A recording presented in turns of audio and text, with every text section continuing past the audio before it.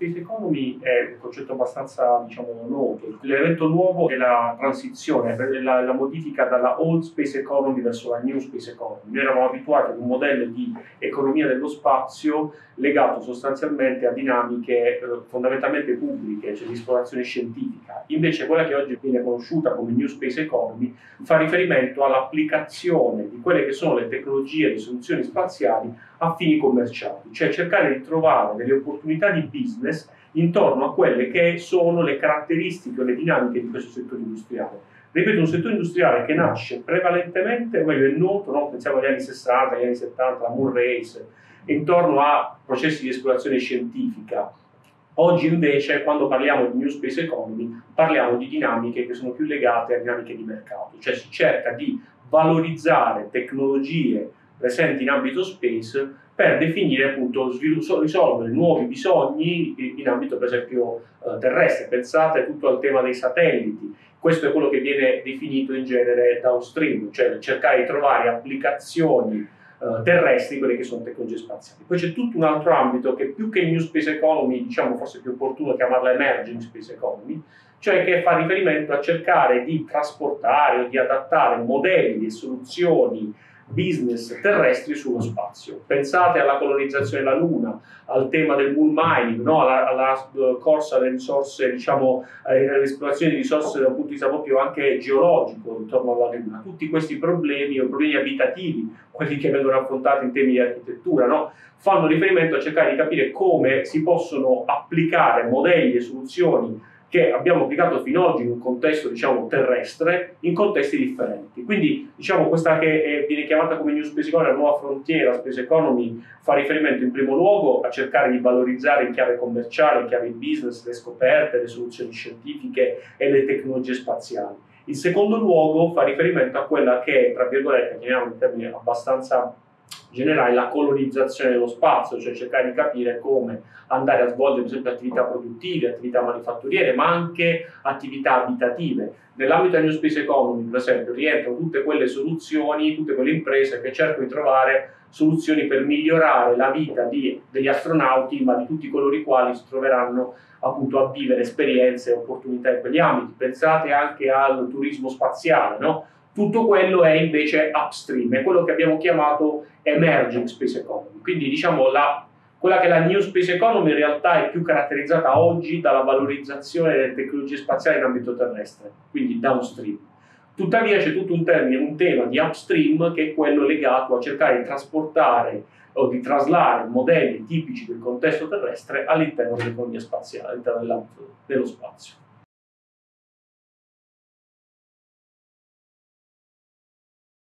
Allora, fare business eh, nella, nel settore della space economy della new space economy significa sostanzialmente far rientrare il tema dello spazio all'interno delle proprie attività eh, di business, all'interno di quello che viene definito modello di business. Antonio lo accennava prima, parlava di upstream e downstream. Allora, fare business nella space economy, eh, una delle classificazioni, delle modalità attraverso cui si fa business nella space economy eh, prevede quello che è il segmento dell'upstream e il segmento del downstream. Allora, per l'upstream si intendono tutte quelle attività che vanno dalla Terra allo spazio. Quindi mh, l'esempio tradizionale è quello dei lanci spaziali, per esempio. Quindi tutte le attività di quel tipo rientrano nel segmento dell'upstream. Nel segmento del downstream invece tipicamente si fanno rientrare tutte le attività che vanno dallo spazio alla Terra eh, che significa per esempio i dati, per esempio la conoscenza che si ottiene dallo spazio, poi trova una declinazione sul segmento terrestre o su, sulla Terra. Allora, fare business in questi due segmenti significa avere all'interno delle proprie attività delle caratteristiche tendenzialmente abbastanza diverse. Fare business nell'upstream normalmente significa trovare eh, delle forme di value creation, cioè le imprese che, fanno, che lavorano nell'upstream normalmente cercano all'interno delle proprie attività di trovare continuamente delle forti innovazioni tecnologiche. Il segmento del downstream invece in molti casi è al centro delle proprie attività quelle di value exploitation, eh, ovvero trovare delle nuove modalità di impiego di dati e della conoscenza che derivano dallo spazio faccio l'esempio dell'agricoltura di precisione. Allora, tutte le imprese che eh, utilizzano i dati provenienti dallo spazio per poi avere delle declinazioni in termini di agricoltura di precisione sono delle imprese che trovano, cercano continuamente dei nuovi modi per utilizzare il valore che questi dati portano con sé. Eh, quindi fare il business in questi due segmenti significa tendenzialmente fare cose un po' diverse. Sono due segmenti che però chiaramente non sono chiusi ermeticamente, separati ermeticamente l'uno dall'altro, ma ovviamente dipendono anche l'uno dall'altro. Eh, il segmento del downstream, lo diceva anche Antonio prima, è un segmento in forte crescita in termini di new space economy, in termini di nuove imprese piuttosto che anche di movimentazioni economiche che genera. Allora, questo aumento delle, delle attività nel settore downstream sta diventando chiaramente una forma di domanda per il mercato dell'upstream. Cioè, se è vero che tante imprese trovano dei nuovi modi per utilizzare dati e conoscenza, è anche vero che questo creerà una forte domanda per il segmento dell'upstream, che troverà di conseguenza nuovi modi per andare nello spazio e tirare fuori nuovi dati e nuova conoscenza. Ehm, che cosa in termini di settori? Allora, eh, in termini di settori, fare business nella space economy attualmente eh, esistono delle aree di business già abbastanza consolidate, se pensiamo alla produzione dei veicoli aerei piuttosto che naci spaziali. Esiste anche tutta una fetta di eh, aziende, di forme di, eh, di business che sono in forte crescita in questo senso rientrano per esempio i voli suborbitali che probabilmente stanno riscuotendo anche un discreto successo in termini eh, proprio di attrazione anche di un mercato un po' più di massa, essendo chiaramente un argomento un po' più pop se vogliamo.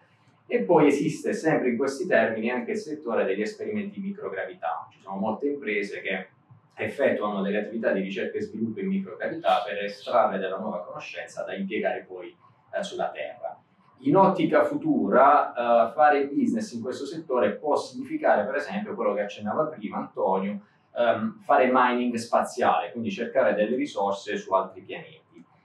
Chiaramente se si sviluppa questo tipo di attività si andranno a sviluppare anche una serie di business legati ai servizi in space che diventano una sorta di eh, accessorio per questo tipo di, di, di attività di mining. Penso per esempio ai rifornimenti nello spazio piuttosto che alle unità abitative. Quindi è un mercato che è caratterizzato da una serie di business sia upstream che downstream attualmente molto attivi, eh, fortemente in crescita il settore del downstream, quindi nell'impiego della conoscenza e dei dati che arrivano dallo spazio in futuro probabilmente ci sarà una nuova crescita del mercato upstream dettata proprio dalla forte domanda che il segmento downstream sta generando.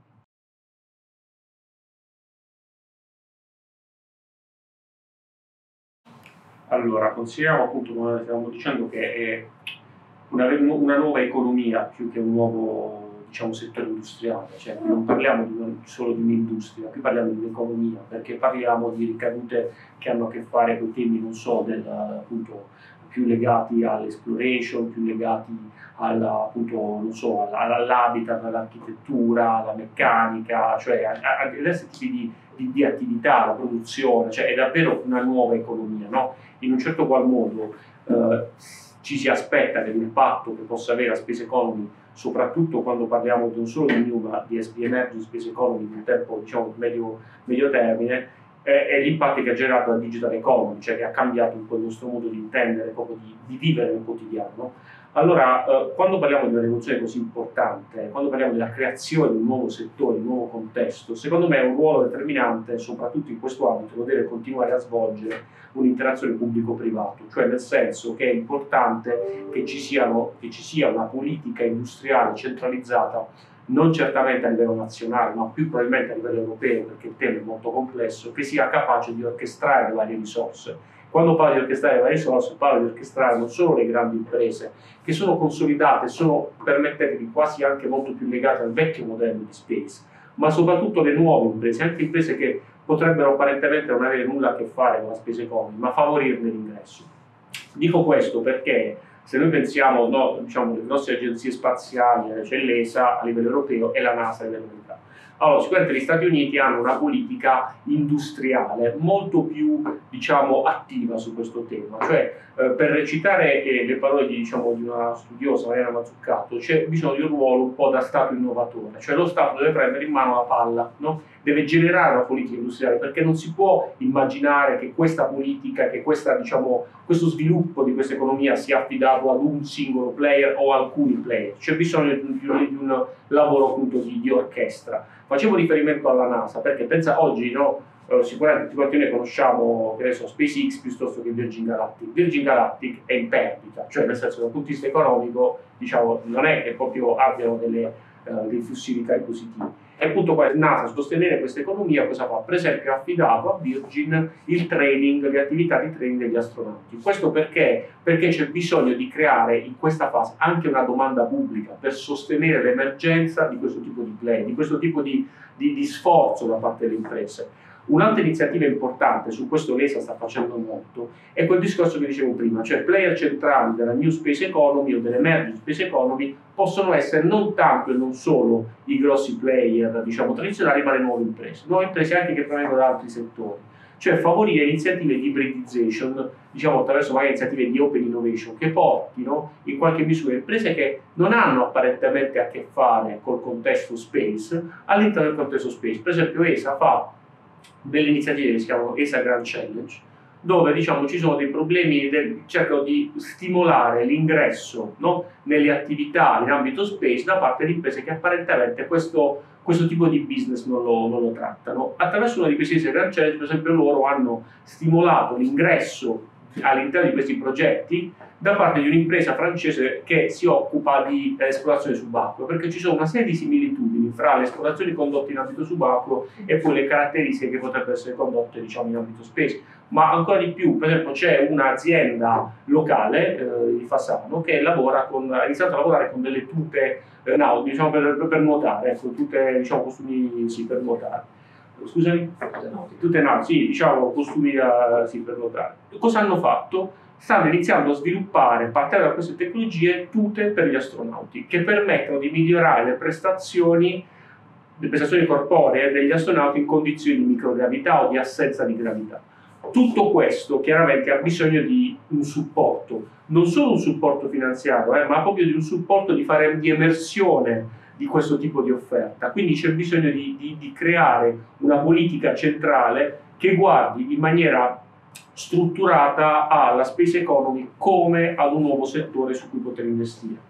Ed è importante che questo, questo contesto venga diciamo, attenzionato a livello di politica industriale, altrimenti il rischio della frammentazione, proprio perché parliamo di un'economia nuova, interdisciplinare, con competenze diverse, rischia poi, a mio avviso, di non riuscire a cogliere tutti i frutti, cioè anche in termini di spesa eh, gli Stati Uniti investano largamente di più rispetto a quello che viene fatto in Europa. Questo chiaramente pone un ritardo, pone un gap, no? Banalmente, basti pensare anche all'iniziativa folcloristica di Trump sulle forze, diciamo, l'aeronautica che hanno creato le Space Force, no? Sono tutte iniziative che però mettono l'alert sul fatto che quella sta diventando, probabilmente diventerà la nuova frontiera. La nuova frontiera non solo da un punto di vista, diciamo, di uh, frontiera scientifica, come è stata no, il discorso, la, diciamo, la sfida tra Russia e Stati Uniti negli anni 60 per la corsa alla Luna, ma proprio la nuova frontiera economica. Solo che stiamo parlando di una complessità che tra, traguarda la, la complessità tradizionale. Se noi pensiamo, per esempio, qui stiamo parlando di un modello Uh, cioè la complessità con cui si trova a lavorare non è solo una complessità tecnica, una complessità commerciale, è più ampia perché c'è una complessità ambientale, si lavora in condizioni atmosferiche ovviamente completamente differenti. Per questo c'è bisogno di integrare gli sforzi ed è fondamentale una regia, una regia che difficilmente può essere svolta da un player privato, per quanto grande esso sia, non può che essere svolta da un player pubblico, che deve però avere appunto una politica industriale in questa direzione.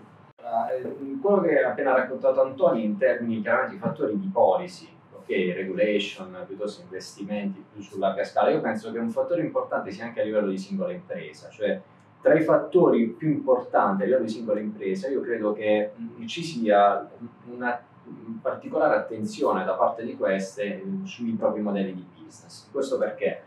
Perché se abbiamo detto che la new space economy è caratterizzata soprattutto dalla crescita del mercato downstream, e il mercato downstream è molto spesso caratterizzato non tanto da uh, forti innovazioni tecnologiche, cioè dalla necessità di creare qualcosa di nuovo, quanto più dal creare nuovi bisogni nel mercato, oppure trovare nuovi modi per soddisfare bisogni già esistenti nel mercato.